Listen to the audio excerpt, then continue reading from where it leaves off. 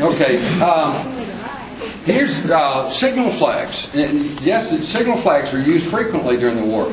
Here's some more headquarters flags. Uh, if you were a Confederate general, you got to design your own flag. So that was a Confederate general's headquarters flag. Another one. That I love that one. Dabney Maury down in Mobile, Alabama, used that flag. And there's another one.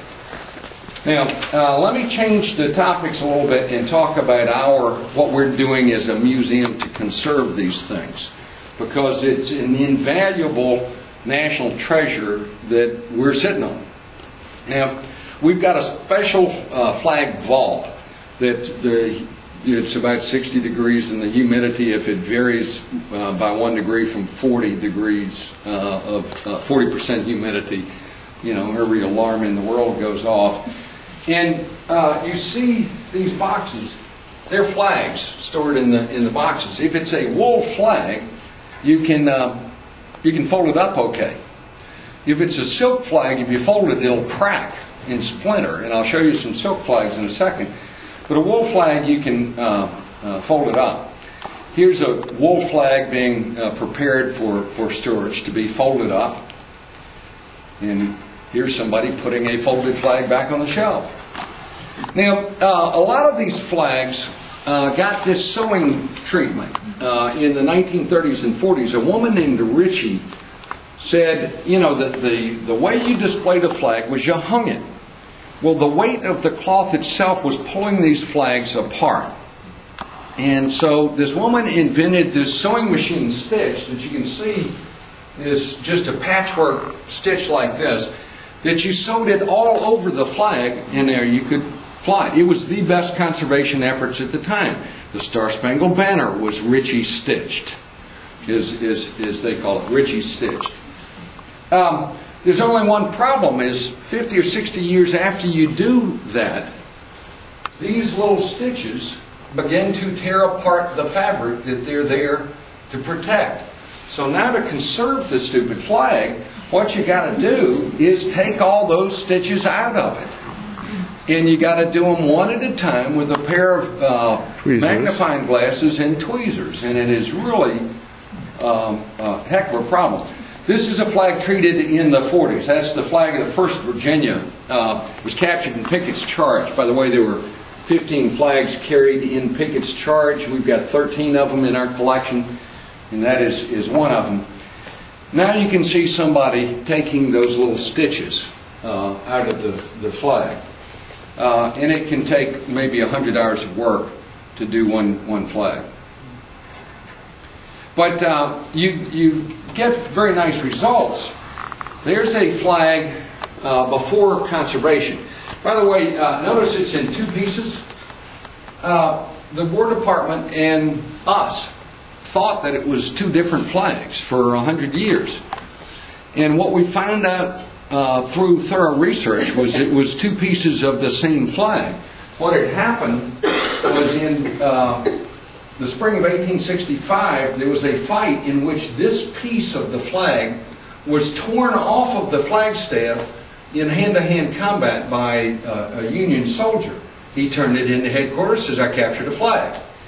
This part of it stayed on the flagpole, stayed with the flagpole and the unit for another month when that unit was captured. So this part was captured at a different date in a different place. It was only through research that we were able to put the two pieces together again.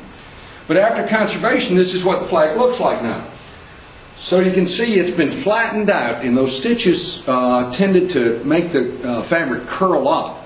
It's been flattened out, but all the holes and gaps have been left because modern curatorial techniques say don't mess with the original. Don't try to make it look pretty. And uh, 50 years ago, people wanted them to look pretty. Here's a uh, Lancaster Grays flag, Virginia State flag, before treatment and after treatment. Uh, doesn't look like that much, but that. Uh, uh, by the way, these uh, th this is uh, an oil painting on the silk flag. Every time you see one of these flags, it's an oil painting on a silk flag. Here's the Guilford Grays from Guilford, North Carolina, where the Revolutionary War Battle of Guilford Courthouse was, was fought. It came to us in a, somebody had put it, folded it up and put it in a frame. Take it out of the frame, that's what it looks like.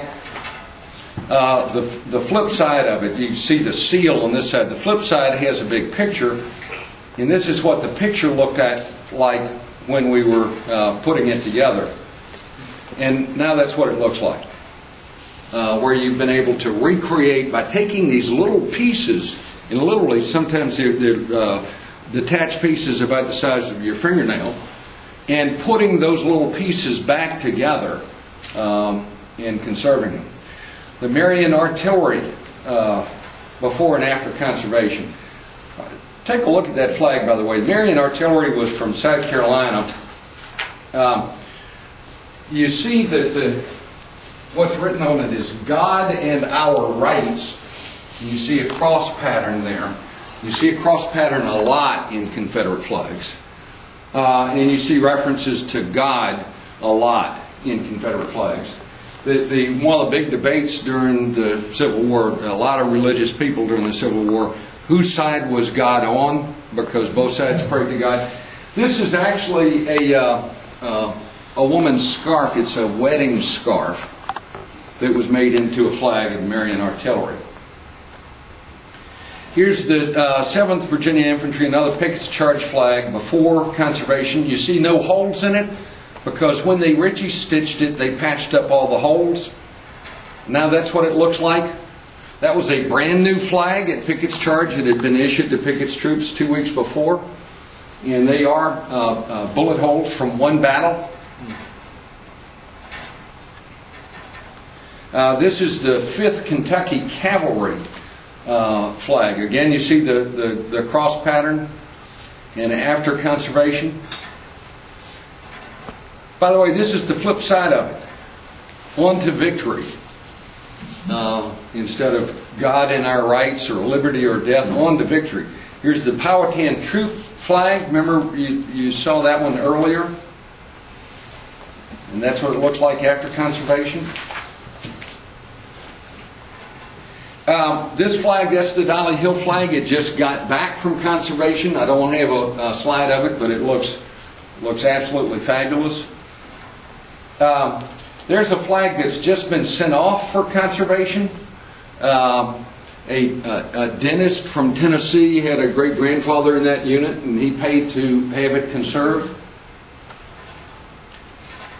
Uh, the 2nd Maryland Infantry, we're doing, members are donating to a fund to get that uh, flag conserved. The 58th Virginia Infantry, that's, that's a Ritchie stitched flag, excuse me, and therefore more expensive because all those stitches have to be taken out.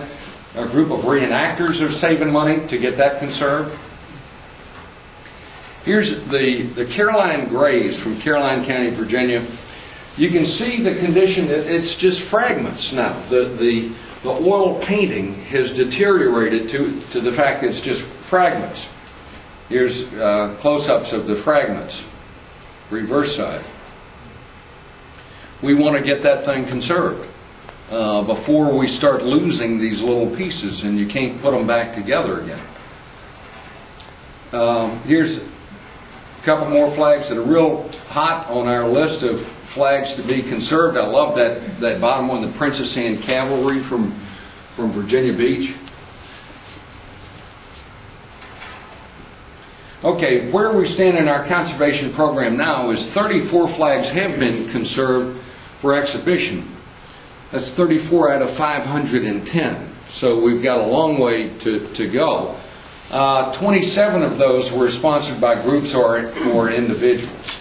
And uh, so we're working on that uh, program now. Uh, we are uh, continuing to sponsor research on these flags to identify ones that are still unidentified. What you do with that research is if it was captured, you know the date that it was captured, where it was captured, and the unit that captured it. So you figure out who were they fighting